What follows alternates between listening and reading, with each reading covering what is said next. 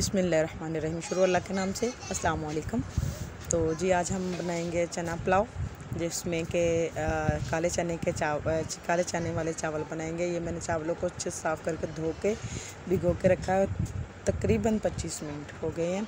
ये मैंने इसके बाद प्याज, टमाटर काट लिए हैं। उसके बाद मैंने लहसुन, अदरक, हरी मिर्च को अच्छे से कूट लिया है। ये मेरे पास काले चने हैं। ये तकरीबन आधा किलो हैं। तो मैंने इनको बॉईल करके रख लिया। इसके बाद ये मेरे पास बिरयानी मसाला है स्पेशल बम्बई मसा बिरयानी मसाला है। तो जायका आ जाता है इसमें। और ये मेरे पास चाइनीज़ नमक है, तकरीबन हाफ़ टेबल स्पून है। इसके बाद ये मेरे पास गरम मसाला है, जिसमें तेज़पात, दालचीनी, काली मिर्च और ज़ीरा है। ये मेरे पास सारे मसाले हैं। इसके बाद मैंने घी डाल दिया और उसमें प्याज को शामिल कर दिया है। उसमें मतलब डाल दिया है। तो इसको अच्छे से आप ब्राउन करेंगे। तो प्लीज़ दोस्तों, आपकी लाइक और सपोर्ट की ज़रूरत है। प्लीज़ आपकी सिर्फ़ देखने से किसी की मदद होती है तो आप लोग ज़रूर किसी किसी न किसी की मदद ज़रूर किया करें। इसके पास ये देखिए मेरे प्याज जो है लाइट ब्राउन हो गया। हाँ जी, प्याज को अगर थोड़ा सा ब्राउन कर ले तो इसका कलर का, खुद का कलर बहुत प्यारा निकल आता है। तो चाय चावल भी वही मज़ेदार लगते हैं जिनका जिसके प्याज का वो जो कलर होता है ना, वो प्याज का ही कलर हो। ये अदरक वो वो क्या कहते हैं उसको, हल्दी वगैरह डालने से इसका टेस्ट जो नहीं होता, जो कि प्याज के टमाटर प्याज ब्राउन होने से होता है। तो अब इसमें मैंने ये गरम मसाला डाल लिया है। सॉरी कन्फ्यूज़न थोड़ी सी बोलना नहीं आता मतलब कि वीडियो में बोलना नहीं आ रहा है। फ़र्स्ट टाइम मैंने ये मतलब कुकिंग करना ऐसे शुरू की है।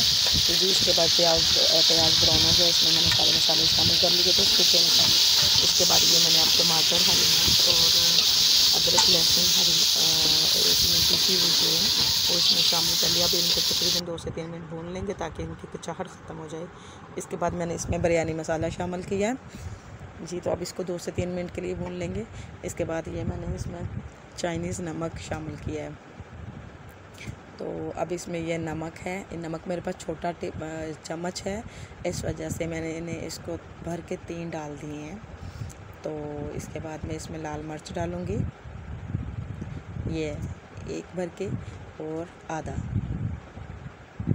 जी। इसको डाल लेंगे। अब इसको तो थोड़ी देर के लिए भून लेंगे ताकि ये मर्च की भी और जो मतलब कि कच्चाहट है वो भी ख़त्म हो जाए।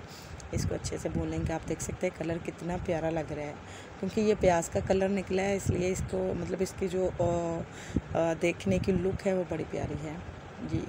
तो अब इसको मैंने अच्छे से भून लूँगी। इसके बाद जब ये तकरीबन टमाटर भी गल गल जाएँ और ये मसाला भी भून जाए, जिसमें कई सारी मर्च ये मेरे सूखे मसाला वो क्या उसको कहते हैं लाल मिर्च है, उसकी भी कचाहट ख़त्म हो जाए तो इसमें हम थोड़ा सा पानी डालकर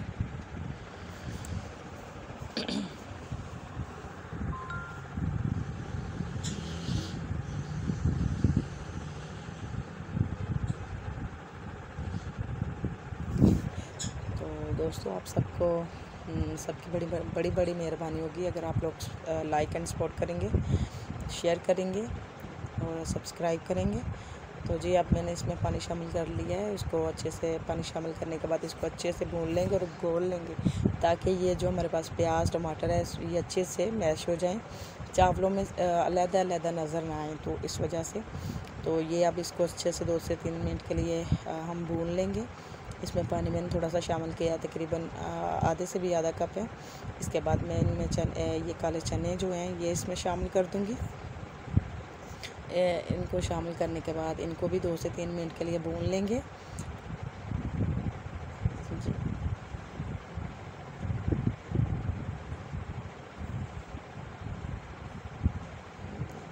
ये मेरे चने जो हैं तकरीबन भुल भुन चुके हैं। इसके बाद मैं इनमें पानी शामिल कर दूँगी। पानी मेरे पास आ, मैंने तकरीबन पहले पूरा पूरा नाप के इसमें देसी में डाल लिया था। मेरे पास तीन गिलास चावल थे और इनको मैंने तकरीबन 25 मिनट के लिए भिगो के रखा हुआ था। इस वजह से मैंने पानी जो है वो मतलब कम डाला है आधा गिलास कम डाला है ताकि वो चावल जुड़े नहीं। तो जी मैंने पानी डाल लिया अब इसको बॉयल होने के लिए रख देंगे।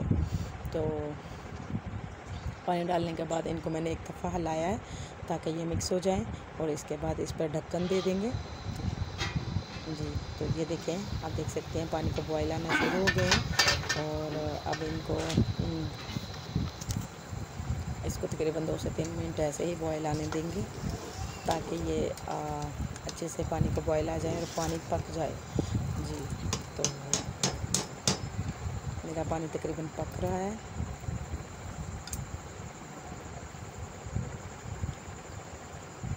ये तो अब ये मेरे पास जो चावल भिगे हुए थे इनका पानी निकाल लेंगे। और चावलों का पानी बहुत फ़ायदेमंद होता है बालों के लिए। आ, ये जो बाल हैं लेंथ बालों की लेंथ को इंक्रीज़ करता है। तो इसके बाद ये मैंने चावल जो है इसमें देगचे में डाल दिए हैं। तो चावलों को डालने के बाद इनको जो ऊपर लगे हुए हैं वो भी मैं इसमें सारे ही डाल लूँगी।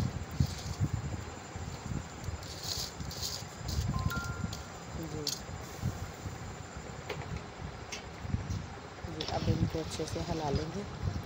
इनको हिलाने के बाद इनको हिलाने के बाद इसमें ढक्कन रख देंगे। तो ढकने, रखने के तकरीबन 10 से सात से 10 मिनट तक पकाएँगे तो ये ऐसी कंडीशन हो जाएगी इसकी। फिर आप इसको अच्छे से हिलाएँगे। तो इनको हिलाने के बाद तो जो है कि हम दोबारा से ढक्कन दे देंगे। ढक्कन देने के बाद, तकरीबन पाँच मिनट के बाद ये हमारे पास चावल कुछ कुछ ऐसी शक्ल में होंगे। तकरीबन ये दम के करीब हैं, बिल्कुल बिल्कुल दम के करीब हैं। तो अब इनको दम दे देंगे।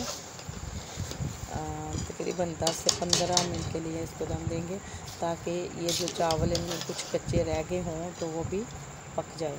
तो इस वजह से ये देखिए इनको दम दे देंगे। बिल्कुल सिंपल और देसी तरीका है। ये ये दम देने के बाद चावलों की कुछ यूँ शक्ल निकली है।